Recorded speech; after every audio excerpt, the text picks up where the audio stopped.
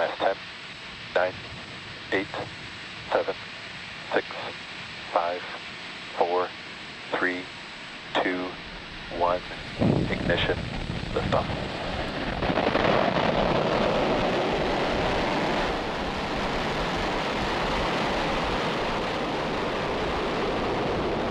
Vehicles pitching downrange. Stage 1 propulsion is nominal.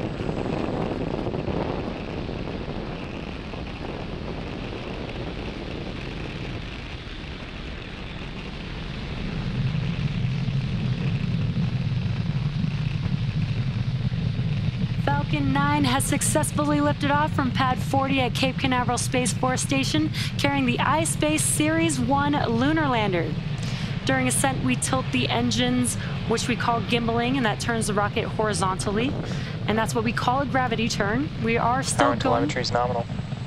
we are still going up, but we are also heading horizontally away from the launch pad. The rocket typically needs to go 17,000... Vehicle 17,000 supersonic. Great call outs there. The rocket typically needs to go 17,500 miles per hour horizontally in order to avoid being pulled back down to Earth and get Max into Q. orbit. And we just heard a call out for max Q. That is maximum dynamic pressure. This is the largest structural load that the vehicle sees on ascent.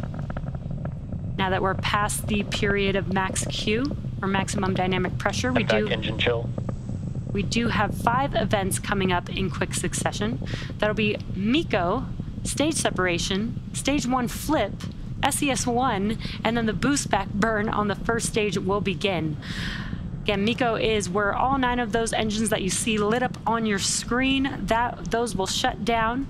That helps slow the stage down in preparation for stage separation.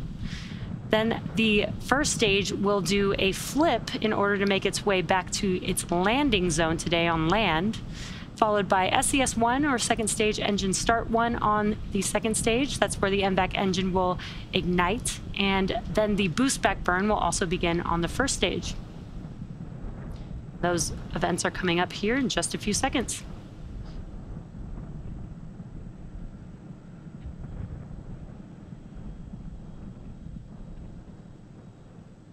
Stage separation confirmed. And back ignition. Stage 1 boost back startup.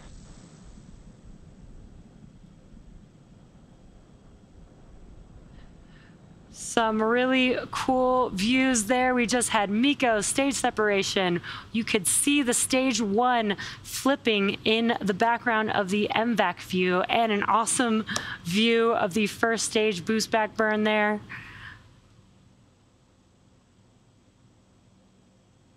Awesome, awesome views. Again, that was MECO stage separation, stage one flip, SES one, that's the MVAC engine igniting. There you can see that on your right-hand screen. Stage one is currently in its boost back burn. Fairing separation confirmed. And there you can see on the right-hand screen, the fairing halves have deployed from the second stage as well. These fairing halves have completed their fourth and fifth flight and will be recovered when they return back down to Earth on our recovery vessel, Bob. Stage 1 boost back shut down. And as you saw on your left-hand screen, the engine has shut down on the first stage. That concludes the boost back burn for stage one.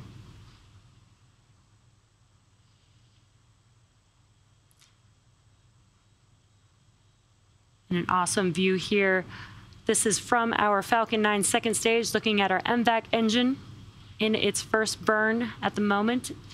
T plus four minutes into today's mission.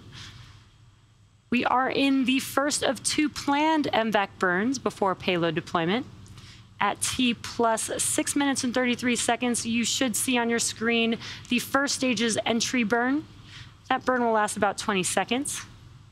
Now, the entry burn is where we relight three M1D engines, starting with the center E9 engine, then followed shortly afterwards by the E1 and E5 engines. Now, that slows the vehicle down as it passes back into the Earth's atmosphere. Now, we need to slow the stage down in order to reduce reentry forces, and that helps us with recovery and reuse of the first stage. Again, what you're seeing on your screen is a view of the MVAC engine on the second stage. So far, looking like it's on a nominal trajectory. Now, reusability is key to lowering the cost. Vehicles on nominal trajectory. Great call outs there. Reusability is key to lowering the cost of spaceflight, which enables more investments in critical scientific research. The Falcon 9 first stage that is supporting today's mission will perform this entry burn for the fifth time, previously having supported SES 22 and three Starlink missions. Again, that entry burn will be coming up in just about a minute from now, around the T plus six minute and 33 second mark.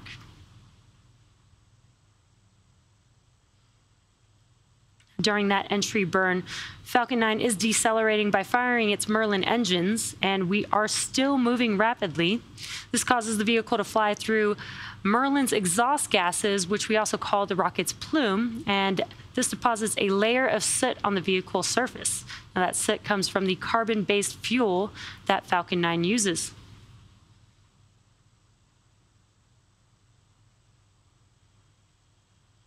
About 30 seconds away from the entry burn on the first stage.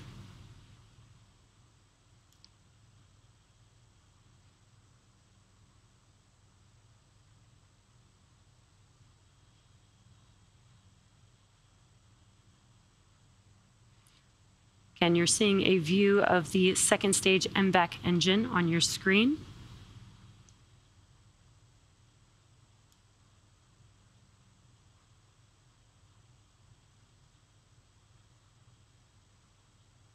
Stage one, entry burn startup. And there now on your left-hand screen is the first stage. We did hear the call out and also can see those engines lighting up the screen very bright there. This burn lasts about 20 seconds. Again, it's three of nine M1D engines reigniting. Stage one, entry burn shut down. Stage one FTS is saved. And as you saw, the engines have shut down. That concludes the entry burn for the first stage. Next up, in just about 30 seconds, will be the landing burn for the first stage. That's a single engine burn, the center E9 engine. Each engine is optimized for sea level. Startup terminal guidance. And it has about 190,000 pounds of thrust. So that single engine is just enough thrust to enable the first stage vehicle to touch down on its landing zone. Today will be Stage landing. one, transonic. It will be landing zone two or LZ2 that we will be attempting to land on today. And just shortly after the landing burn begins, Stage one, landing burn. as we just saw and heard, the stage one vehicle landing burn has begun. We also heard the shutdown of the second stage engine, but let's Stage two, watch yes, as Falcon 9 touches down for landing with this incredible view here. Nominal orbit insertion. Stage one, landing leg deploy.